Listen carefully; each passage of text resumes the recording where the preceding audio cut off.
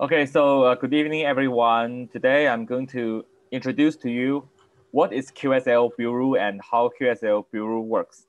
Because I believe uh, many new members don't know what QSL Bureau is. You may heard of QSL card and you know QSL card is uh, like a side hobby of ham radio and uh, many people are still enjoying exchanging card uh, after they had a QSL. So first of all, what is QSL Bureau? QSL Bureau, as just now uh, we had a few, we had some discussion of, about the Bureau. The Bureau was introduced back in the early days, and uh, it is a well-established system for sending QSL card in bulk. The keyword here is in bulk, because if you make many QSL, especially today, you work FT8, you can work maybe 100 stations every day. And if you want to send QSL card to every individual of them, you will go online to check their address. You will write envelope, you will write card, and then you pay a lot to the post office to send your card. So QSL Bureau was created to cut cost and also to send in bulk.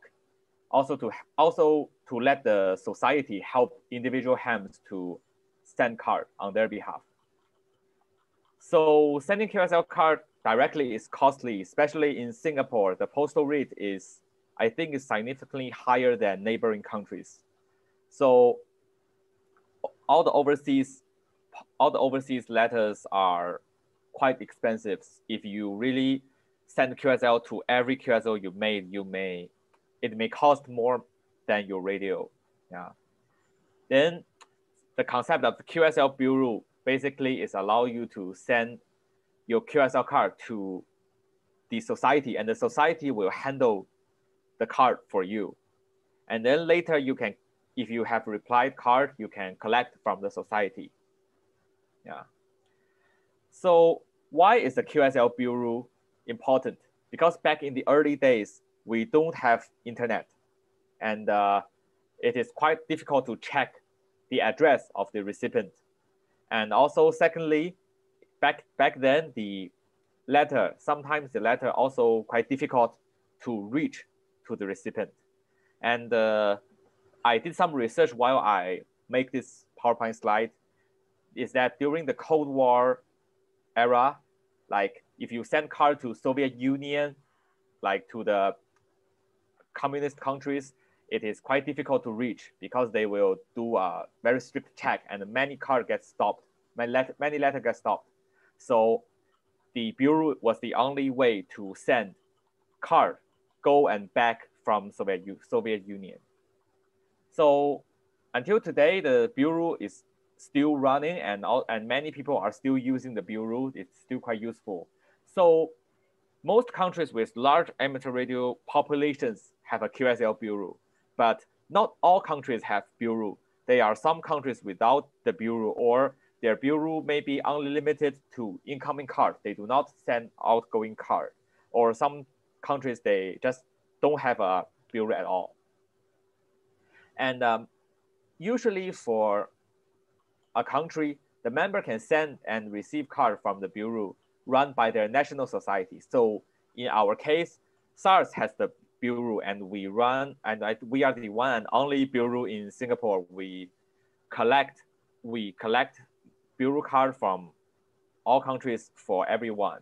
And for non-members, they can collect card from us, but we do not send their card because for all members, we pay membership fee to SARTS. So it's a part of the service that we enjoy from our membership fee. Okay, next up, I will just show you how to send your card. So I make this simple diagram to maybe to show you let's say if you are person A, if you are person A, you want to send a card to, let's say, person D from another country. First, you send the card. You send the card to the to SARTS bureau. You hand over to the outgoing uh, to the outgoing QSL manager, and other people will give their card to the outgoing manager as well. Then the outgoing QSL manager collect everyone's card and do a sort. It is sorted by country, and then for each country, let's say for Japan, one envelope, and then for US, one envelope, for let's say UK, one envelope.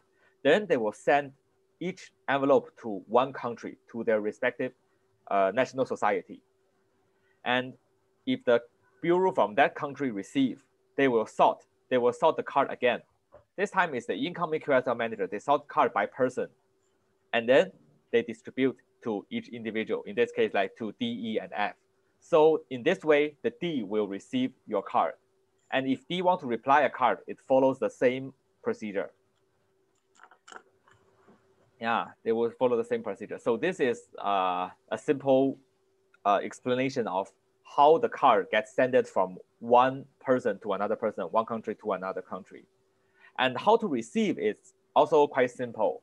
For other countries, uh, because their country sometimes is big and many people cannot come to the society in person to collect card. So usually they will ask the society to mail the card to their address. But for our case, we have a few ways to collect card. First, if, uh, if we resume our physical meeting and members can come to the meeting, collect card from the incoming QSL member, which is myself. So you can come to me and ask, do you have any card? Then I, if you have any card, I will pass them to you. And uh, the second way is for people who cannot attend our meeting.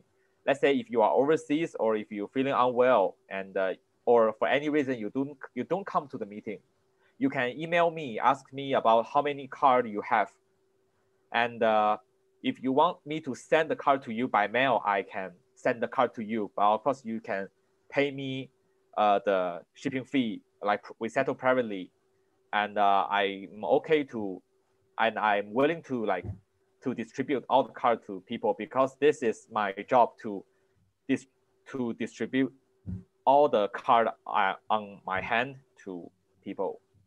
And lastly, if you have a friend who attend the meeting regularly, you can ask a friend to collect on behalf of you.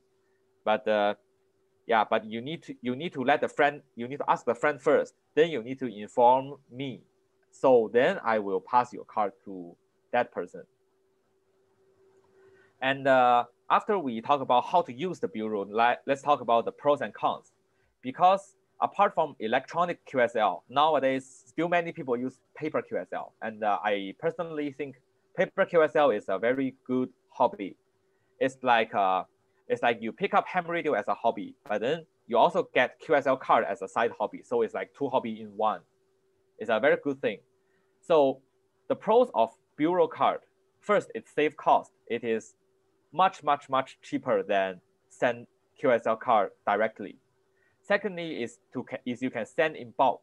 Let's say you have 100 card to one country, then you just send them once or you, even you have 1,000 cards to many countries, you just send them once to your society, and that's all. You don't need to care about the rest.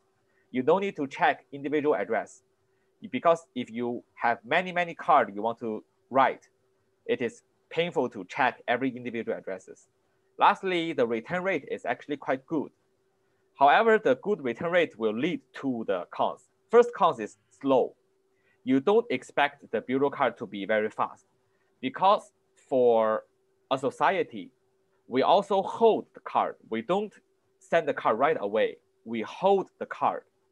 And uh, for SARTS, the outgoing QSL manager did a great job of keeping a record. So from the record, we can see that you have maximum one year holding period. So after one year, they will send whatever amount of card to overseas. So if we hold the card for maximum one year and the other countries do the same, you may be you may receive your card after two years, and that is in a good case one to two years. In a bad case, maybe five eight years. I don't know. So that is a cons. You need to be very patient. And secondly, not everyone uses the bureau some people are not member of their national society and some people they just don't like to use the bureau or they just for some reason they don't want to use the bureau and uh, yeah so you can compare this to direct qsl and maybe you can do a mix. Some card if they do not accept the bureau but you really want the qsl you can send directly.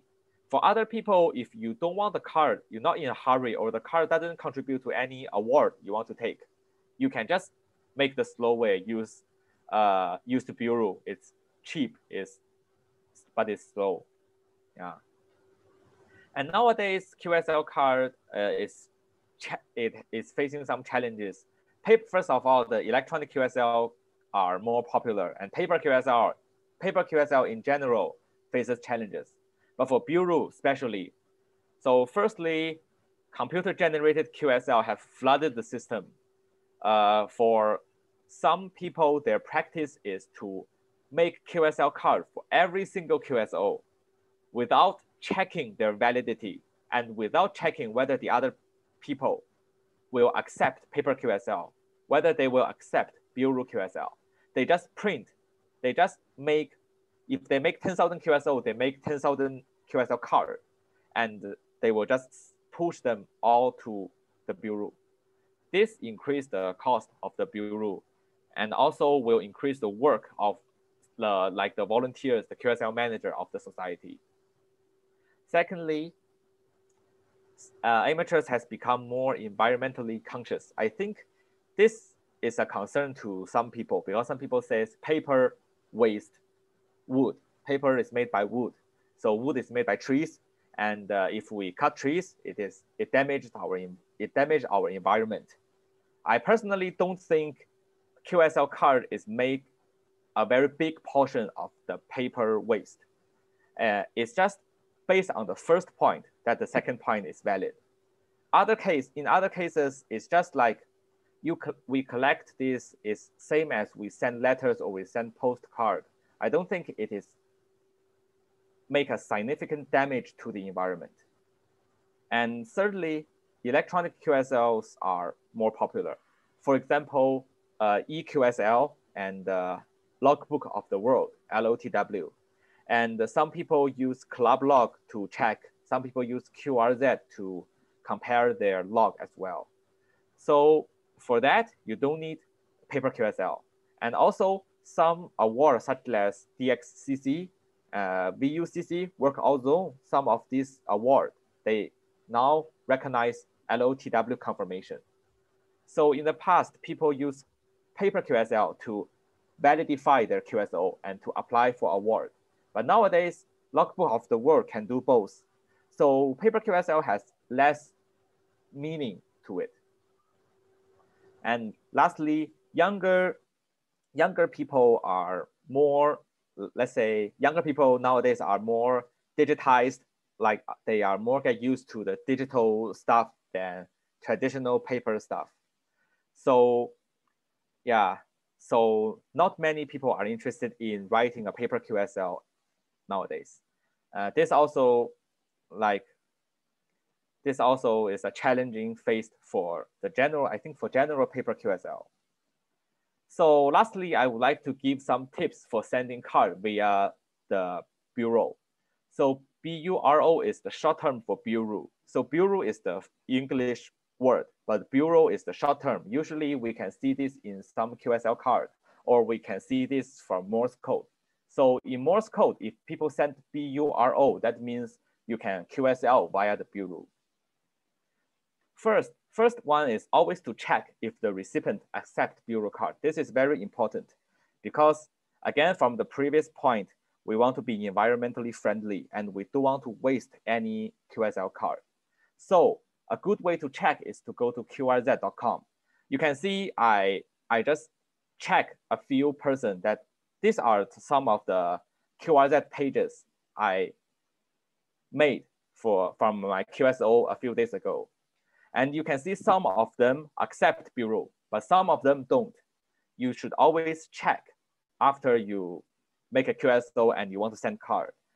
And if for those who can accept bureau card, I will happily send my bureau card and wait for their return.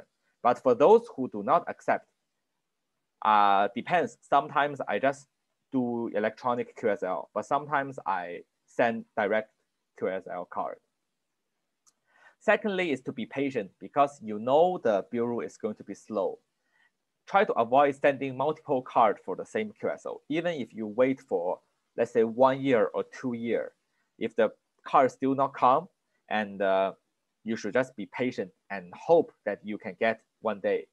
If the car really important for you, you want to apply for award or you really you really like the car design, you can always send email to ask or you can always send a direct QSL card. And thirdly is to write DX and VIA sign clearly. DX is the recipient's call sign. VIA is the person who will receive your card. This is different. Sometimes, most of the case, you give you QSL to the person directly, but sometimes you need to write a VIA call sign.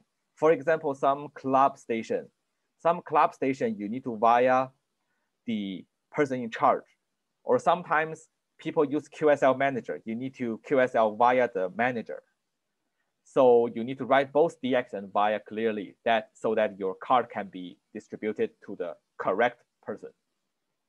And, and next, you may send card in bulk to the bureau of a country.